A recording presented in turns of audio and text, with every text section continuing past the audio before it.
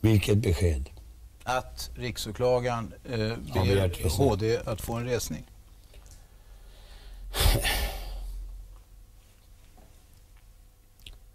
Jag kan citera. Det har varit ofta så i mitt liv att jag citerar. Jag kan citera skriften, jag kan citera den ena och den tredje. Men jag vill citera på följande sätt.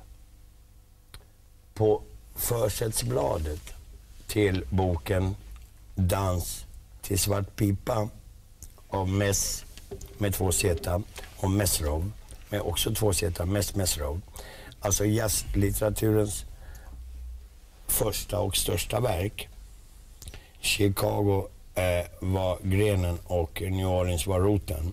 Mm. Sen kom vi till Timpanelli. Kommer vi till roten, Christer, i ditt resonemang? Jo, då så sade han så här. Till alla skitsnackare, lössnackare och dösnackare. Det är klart att det ordnar sig. Hade du väntat att det skulle komma?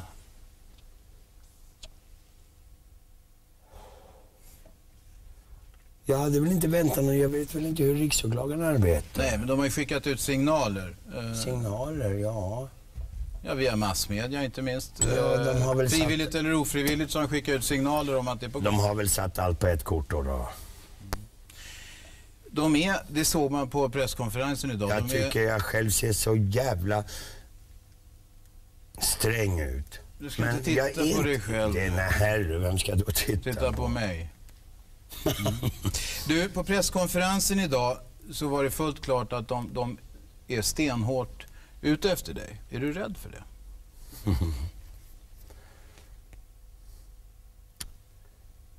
Det är klart att jag är rädd för det. Om jag blir nitad då får jag mucka på min 70-årsdag. Eh, Vad är det för? Vad hände med dig? Det har vi ju talat om. Jag skulle ju vara... du skulle åka ut på landet och jag skulle vara he- vara hemma hos din fru i natt. Ja, det, det minns jag inte. Men du, Nej, inte jag heller. Jag, Du, det var bara en vi ska, vi ska, vi ska... Den var ju dålig. Ja, den var ganska dålig. Vi Ja, ska ja, strax det var ta upp riksåklagarens eh, bevisning, eh, som det heter i, den här, i det yrkandet till HD. Eh, men Christer, om vi säger så här då. Vi säger inte vad du gör nu, utan hur lever du nu? Ur hand i mun. Jag har ingen egen bostad. Hur får du dagarna att gå? Ja, jag lägger väldigt många patienser.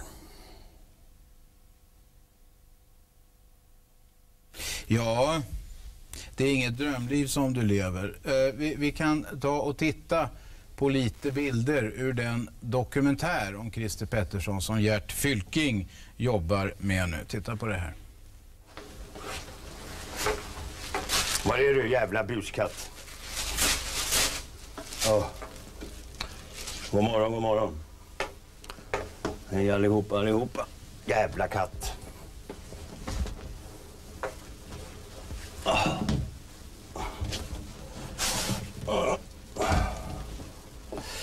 Det är klart, det är ganska lätt att bädda, det måste man ju säga då. då. Men det är ju ingenstans att att bjuda in. Det är ju inget ställe att bjuda in någon till. Någon vacker tjej eller någonting. Och egentligen, halvt på skämt, halvt på allvar, så brukar jag fråga mig vad har man egentligen för glädje av en katt? Man får ta hand om skit och piss och man får köpa mat. Sen vet jag inte. Det ska vara det att man ligger och småpratar under några nattimmar då. då. September 1997. Christer Petterssons hem är för tillfället en inglasad balkong i Sollentuna. Fyra månader har gått sedan han blev vräkt från sin lägenhet på Malmvägen. Nu bor han på Tor-Arne Larsens balkong. Och vad har man egentligen samlat på sig här i världen? Ja, det ser inte mycket ut. Vad är det här? Två tomma bord, matta, något annat bord där, några kartonger, en matta där, några väskor med kläder. Ja, det är i stort sett allt. Men ändå är jag tacksam att jag har fått placera det här. Det är jävligt schysst.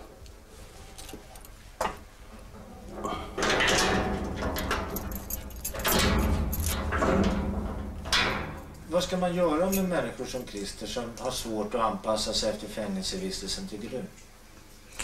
Eh, det vet jag inte vad man ska göra med honom. Han får bo här helt han får lägenhet. Det, det, det kan jag säga med en gång. Kommer han att få någon egen lägenhet? Eh, jag tvivlar styggeligen. Varför kommer han inte att kunna få någon lägenhet? Ja, han har ju inte betalat hyran på 20 B för flera månader. Och eh, när han är skyldig över 35 000 i hyra då är det svårt att få lägenhet kan jag säga med en gång. Låt oss säga att jag hade rätt gott om pengar. Och låt oss säga att jag fick tag i en lägenhet. Skulle hyra i andra hand. Och låt oss säga att jag betalade ända upp till två år i förskott. Mm.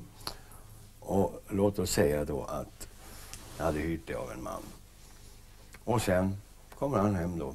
Eller så säger han till sin fru så här till exempel att ja, jag har hyrt ut för de, de kanske ska åka till Spanien på två år eller vad de ska göra. Ut och arbeta utomlands. Och de vill hyra ut den. Och det är perfekt. Ja, jag har hyrt ut den till, till så här, lägenheten. Jag får två år, hela hyran kontant här.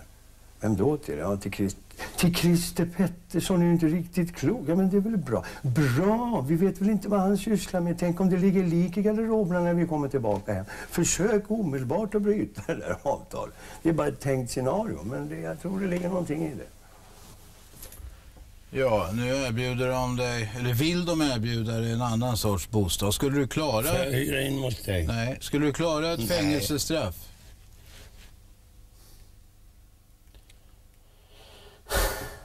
Vad vet man om det? Du har suttit... Tänk dig själv in i motsvarande situation. Skulle du vilja... Du, låt oss säga om du tänkte att du skulle mucka på din 70-årsdag. Skulle du ha lust att göra det då? då? Hur länge har du suttit förut? Det angår inte. Mm. Mår du bättre, eftersom du lever ett väldigt hårt liv? Ja, va? Ja, super och eh, så vidare. Väldigt mycket. Mår du bättre när du har kommit ut från fängelse tidigare? Jag har nu i dags datum varit frigiven, varit fri längre än någonsin tidigare vuxen ålder. Jag är inne på fjärde året som fri. Jag har ingen lust. Jag vet att det är mördande rutin. Det är värdelöst. På det sättet. Men byt gärna med mig. Du, när du friades i hovrätten då blev du erbjuden att byta identitet. Ja. Ångrar du då att du inte gjorde det? Nej. Det gör jag inte. Det var någon som flyttade till Amerika och det gick åt pipan för honom. Mm. Uppväxt som en vanlig grabb i princip. Har du, har du funderat någon gång på varför du hamnar på det som kallas för Finns det brottets ovanliga bana? grabbar? Ja, det finns ovanliga grabbar. Men det? du växte upp som en ganska vanlig grabb till att börja med. Mm, mm, mm. Varför hamnade du på den så kallade brottets bana? Ja, brottets bana. Jag, eh, för att sammanfatta det hela då och då, så var det väl närmast på det sättet att jag skaffade mig bekantskaper som, som inte alla som växer upp skaffar sig. Jag är lite hes. Mm. Vi ska titta på lite bilder igen ur Gert Fylkings kommande dokumentär om Christer Pettersson. Varsågod. Han växte upp i Solna med föräldrar och två yngre systrar. Enligt en senare personundersökning var modern överbeskyddande, lite tjatig, medan fadern var sträng och hade vissa spritproblem. Christer var inte onormal men möjligen miljöskadad och bortskämd enligt protokollet. Jag var uppe på berget där och sen ramlade och kom jag baklänges. Rätt ner på tofsen. I fritt fall. Men det var mycket snö emellan. Jag bröt inte nacken eller någonting. Men om det var skämtsamt sagt då, om det var därför jag blev så, så, så benägen på att skälla plånböcker, det, det vet man ju inte. Det får man väl aldrig veta. Men faktum faktum är att det var just här. Ja, ingen skugga över AIK, men men här stod jag då och eldade upp innehållet i plånböckerna. kontinuerligt. När Christer började första klass på Hagalundsskolan i Solna 1954 var han en pigg och framträdande personlighet. Men faktum är att redan som nioåring hade han blivit känd hos myndigheterna. Småstölder och snatterier gjorde att barnavårdsnämnden kopplades in. Det var ofta kompisarna som blev bestulna. Han fick tidigt en övervakare.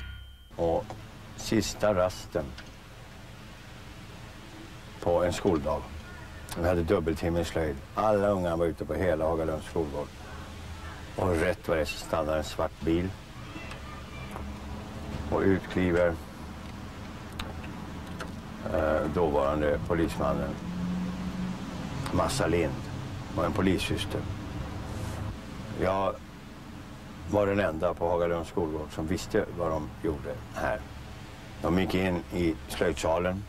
Alla ungarna tittade. Jag stod och försökte hålla färgen så länge det gick, men det var ju dödfött. För slöjdläraren kom ut, Christer kom hit. Jag gick in där och då hade mitt förflutna hunnit ikapp mig. Så att då fick jag följa med i bilen ner till Solna polisstation för första gången i mitt liv.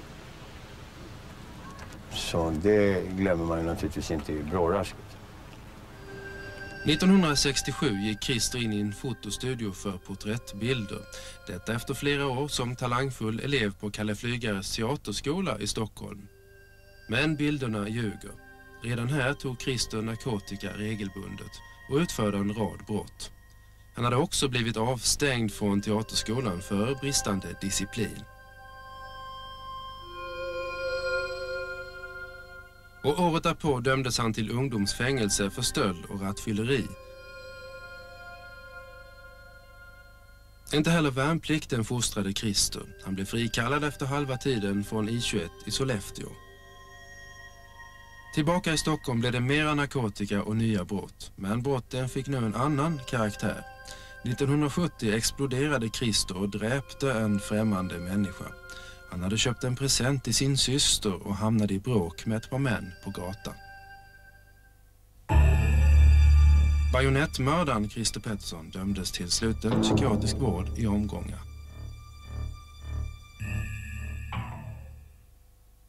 Ja. Ett enkelt namn om man sitter och skämtar med sig själv och så säger man så här, det var skämtsamma Hugo, det var arga Hugo, det var blygsamma Hugo. Jag vaknade i morse och kände hon var blygsam. Vadå Hugo? Men det är ingen sån där alter ego du har? Nej, inget alter ego. Nej, nej. Är det Nej du. Ja. Ska Så vi titta... knäpp är jag inte. Nej, nej, okej. Ska vi titta på... Harry Eh, Mekalinna. ska vi titta på eh, riksåklagarens... Nej, jag ser Harry Mekalinna där. Jaså, jaha. Ska vi titta på riksåklagarens Ja, titta på... ansökan om resning? Ska vi titta på de här olika nya vittnesmålen? Det är ju, Skräms det är ju eh, bara vittnesmål. Först har vi den så kallade svarttaxichauffören. då. Eh, Han har i förhör berättat för polisen att han känner Christer Pettersson sedan mitten av 60-talet och han säger att han är säker på att han såg Pettersson på mordnatten. Flera gånger utanför biografen Grand, eh, utanför Dekorima-butiken och han säger också att han hörde två smällar och sen såg det i backspegeln på något vis. Först dagen därpå säger han då att han förstod sammanhanget. Han har dock inte hört av sig förrän ganska nyligen. Nej. Känner du honom? Nej, inte vad jag vet. Han påstår sig känna mig. Men jag säger bara så här. Jag vill citera vad polisen sa i tidningen häromdagen. Att han har gjort oss ovärderliga tjänster under årens lopp. Ja, det är alltså en annan polis som säger att han alltid har varit, hans uppgifter har, varit, har stämt, Ja, varit korrekta. Visst, vet du. Sure BBS. Det andra, eh, det andra eh, i bevisningen, det andra vittnesmålet handlar om den så kallade bombmannen Lars Tingström. Eh, det skulle ha varit han som hade gett motiv till Christer Pettersson att mörda Olof Palme.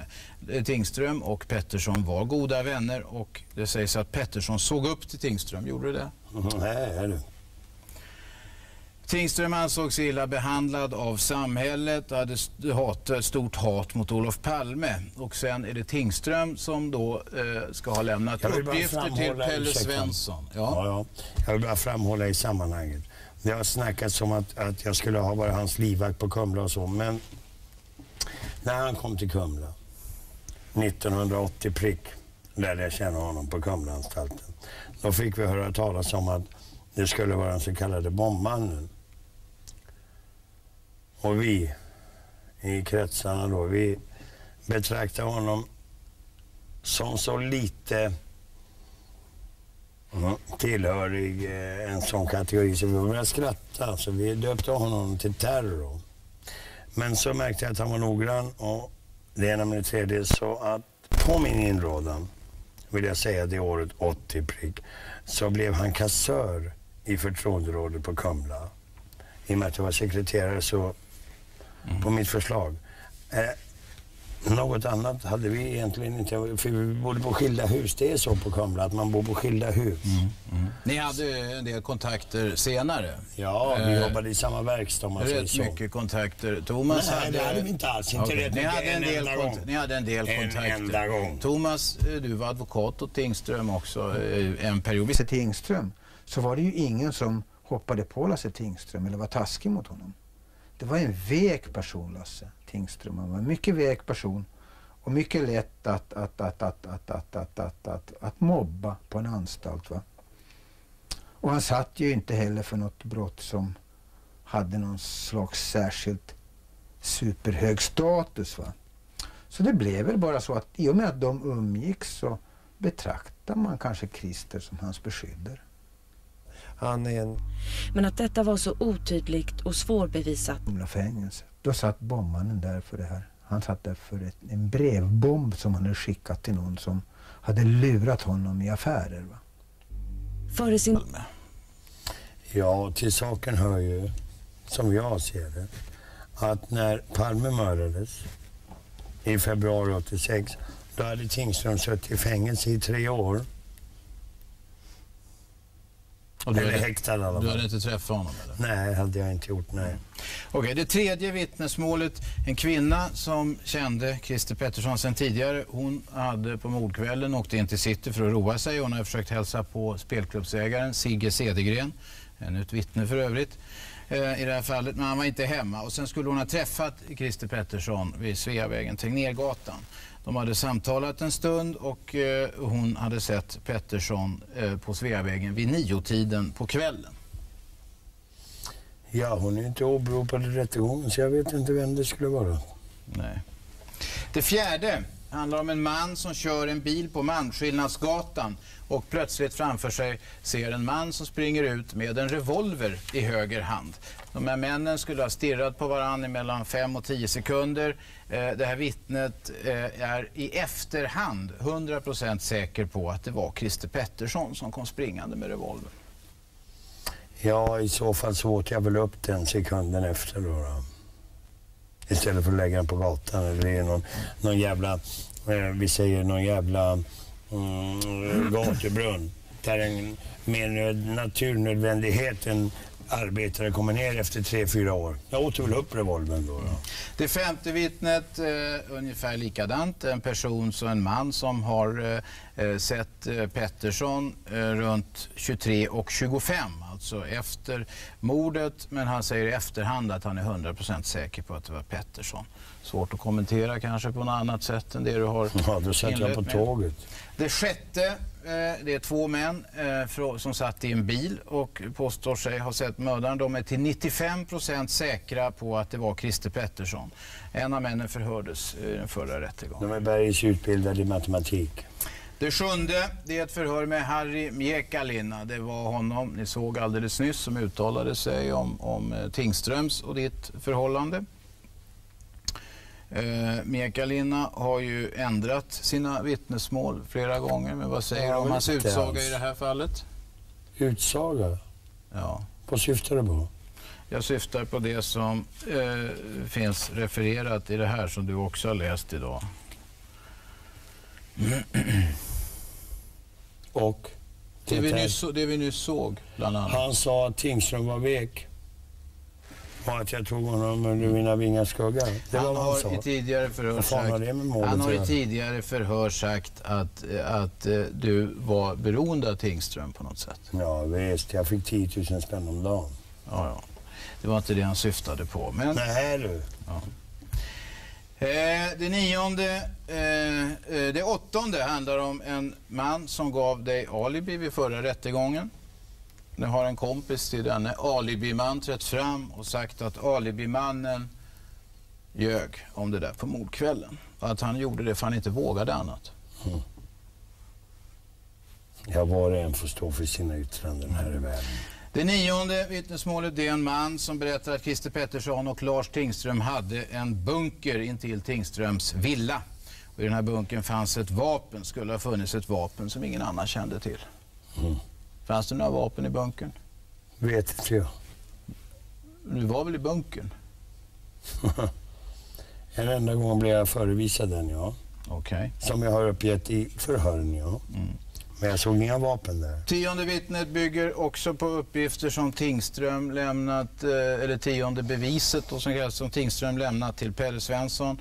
Han påstår att eh, Pettersson fungerade som eh, eller påstod att Pettersson fungerade som livvakt åt, åt honom. Det har Christer redan kommenterat och därför hade skaffat fram en revolver.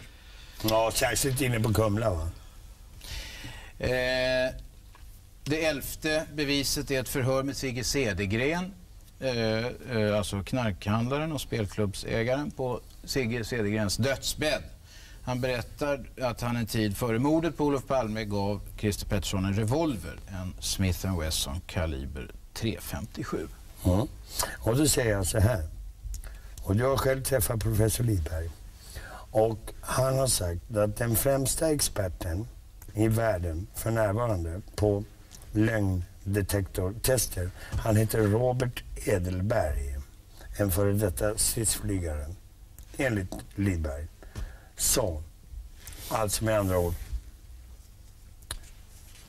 Eh, jag har, tror mig ha läst så mycket så att till och med en lögndetektortest som eh, i mina ögon är mycket tillförlitlig kan slå fel. Och han hade kanske 36 timmar kvar att leva. Han var proppad, han satt på radion hemma, han var proppad upp till gomseglet med morfin.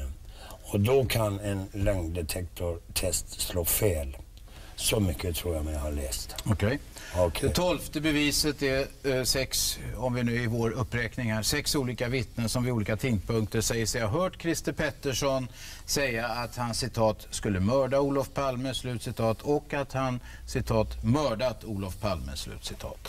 En eh, man som nu i förhör berättar att alibimannen för honom erkänt att han vid rättegången ljög om när på Christer eh, när på kvällen, eh, mordkvällen som Christer Pettersson kom hem. Jag kastade in dem under fanorna bara. Det här är kontentan av det som finns alltså i riksåklagarens ansökan om resning det ändå rör sig om så många vittnesmål mot dig. Kan du förstå att polisen, även om nu varje vittnesmål i sig inte är eh, starkt hela vägen, kan du förstå att de tycker att det pekar mot dig? Att de tror att det var du som mördade Olof nej. Palme? Men jag vill, nej, ja, säger jag. Jag menar, ja, nej, men jag, jag, jag svarar på den frågan så här. Eh, jag citerar vad chefsåklagare Anders Helin sa 1989. Att, det finns tydligen skrivna regler för det, med tanke på åklagarplikten så måste vi väcka åtal. Och det har jag förståelse för. Mm. Okej, okay, jag tänkte... Vi skulle... från att justitieråden kommer att fatta ett... Har du fullt förtroende för rättsapparaten? Ja, det har jag. Ja. Till dags dato, det har jag. Peter, hur tror du? Jag hoppas ju naturligtvis på det bästa. Och jag kan inte Skulle tänka... du klara en fällande dom? Det är tveksamt. Det är mycket tveksamt. Men vad är alternativet då? då? Checka upp hundra Rohypnol då? Mm. En stor fråga är den om din familj va? Min familj ingår inte i det här.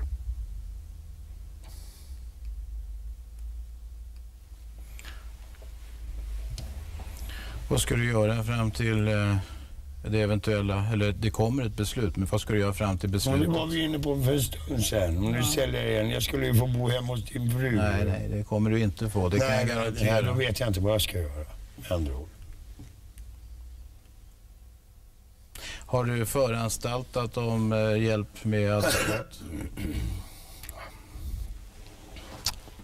Jag vet inte varför jag är så vit på insidan av händerna. Pettersson vit. Har du skaffat advokat eller advokater? Nej, han går inte. Har du förberett dig för en sån här eventuell rättegång på något sätt? Vielleicht, som tysken säger. Det betyder kanske alltså. Mm. Ja. Mm. Jag, alltså, jag, vet, jag vet att du är pressad av det här. Ja, det är jag. Det är ju klart. Jag är ingen robot. Nej. Men är det inte något konstigt? Alltså, du, du, du säger det var inte jag, det är självklart. Du säger att du har förtroende för rättsapparaten, haft till dags dato. Ja, Och, och ändå, vad är du rädd för? har jag sagt att jag är rädd? Ja, du sa det inledningsvis i, inledningsvis i programmet. Nej, orolig alltså. Mm. Ja, ja. Citera rätt då. Och om du säger att du fälldes nu, säg att det var som... Ja. Men polisen, jo men det här är fullkomligt Då är mitt hypotetiskt. liv förstört. Skulle skulle, kunna- då skulle jag få mucka på min 70-årsdag. Tack för kaffet, god bajs. Skulle du kunna... Vad skulle du så att säga, har du tänkt på vad så du skulle kunna göra skulle något för göra? din egen del då? Eller? Första fem åren i bunker. Inte en centiliter öl. Bevakade besök i den mån du får besök. Inte en braja, ingenting. Första fem i bunkern. Nej, jag ser inte fram emot det. Absolut inte. Vad tror du om de så kallade oddsen? Odds? Nej, det där var väl ett dåligt uttryck. Jag vill Ja, det inte var det lägga... säkert, men ja, det var menar. det säkert. För jag vill inte lägga ordet odds i justitierådens mun. För jag tror på Sveriges justitieråd. Där är jag nu. Gör ni det, advokaterna? Kort svar. Självklart. Ja, visst. Det är en rörande enighet här. Jaha. Justitieråden är höjda över all, all misstanke. Det vore Nej. bra om det var så. Det kanske är så också. Men Jag de är innefattade, omfattade av allt hopp. Okej, tack för att ni kom hit. Eh, advokaterna, tack eh, för att du kom Christer. Det här programmet kommer att gå i repris klockan 24.05 ikväll.